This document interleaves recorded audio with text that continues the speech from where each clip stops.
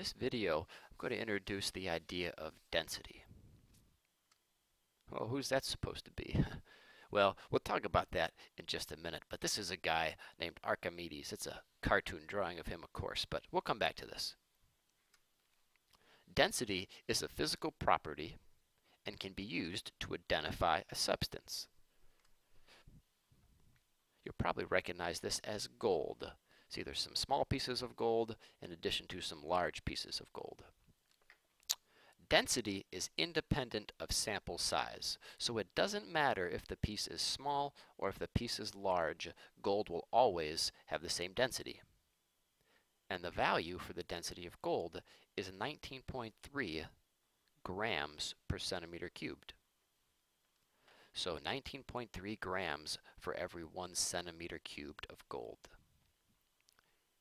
So what does the formula look like for density? You probably already know this, or at least you can look at these units and you could probably um, project or guess what the, what the formula would be.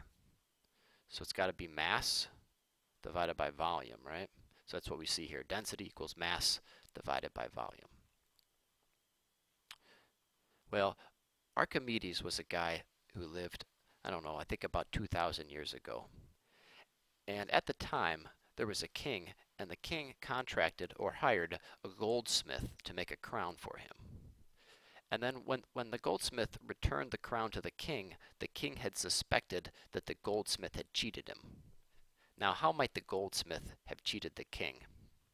Well, what he could have done is maybe he could have alloyed the gold with some other cheaper metals, like some copper or something like that. So maybe uh, maybe the goldsmith um, kept some of the gold for himself and replaced some of the gold in the sample with some copper.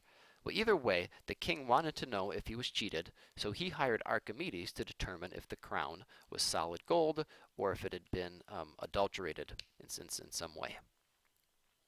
So what Archimedes did, he took the mass of the crown and he found the mass. They had balances or scales at that time. But he really didn't know how to get the volume of the crown. Volume was, was a known concept back then. You could measure the length times width times height of a, of a regular shaped object like a cube, and you could get the volume. But the crown, of course, was an irregular object. It had a weird shape, and you couldn't easily measure the volume of it. So whether it's true or not, I don't know, but the story goes that one day Archimedes was sinking into the bathtub and as he sunk into the bathtub, um, he saw the water level rise, and he realized that when he sank into the water, the water level rose by exactly the volume of his body.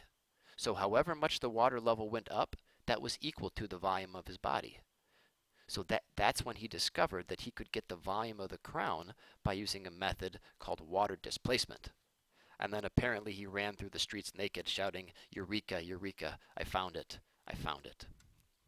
So once again, we can get um, the mass using a balance or a scale, and we can obtain the density of an irregularly shaped object using water displacement.